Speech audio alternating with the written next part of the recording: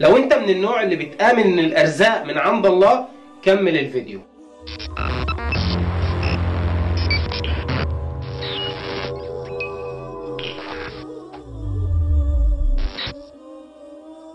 لأن في ناس بتؤمن بالله عند الفرح بس إنما عند الحزن والضيق تجزع ويكون يومها أبيض. وعلى فكرة دي مش أول جريمة قتل تحصل بس أول جريمة المقتول فيها يتعمل له أكتر من 360 عمرة في أسبوع. إيه اللي عمله محمود البنا عشان الناس تعمل معاه كده؟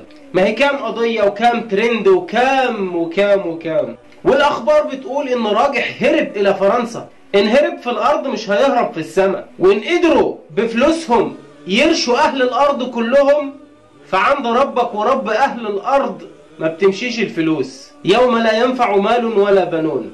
ناس كتير فايتها أعمال وممكن يكون عمل قد كده. في ناس بتقول دي مش حسن خاتمة وهو مش شهيد. ولكن العلم عند الله. لما شاب صغير في سن صغير يموت. وزي ما قلنا مش أول جريمة بس أول جريمة تأثر في قلوب الناس. ما يقارب من نص مليون فيديو على اليوتيوب بيدعوا لمحمود البنا. شوف كام مليون قال الله يرحمك يا محمود. شوف كام مليون واحد قالوا عنه شهيد الشهامة وشهيد الرجولة. ده النبي صلى الله عليه وسلم في حديث ذكر إن إحنا شهداء الله في الأرض. إحنا اللي بنشهد للناس.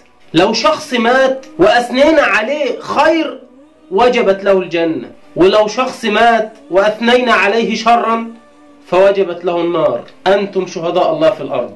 ادعي لنفسك وادعي لمحمود وادعي لي. وادعي لكل واحد تعرفه وأي حد ما تعرفوش. إن ربنا يحسن ختامنا. وأهم حاجة يحبب فينا خلقه. بس كده. سلام عليكم.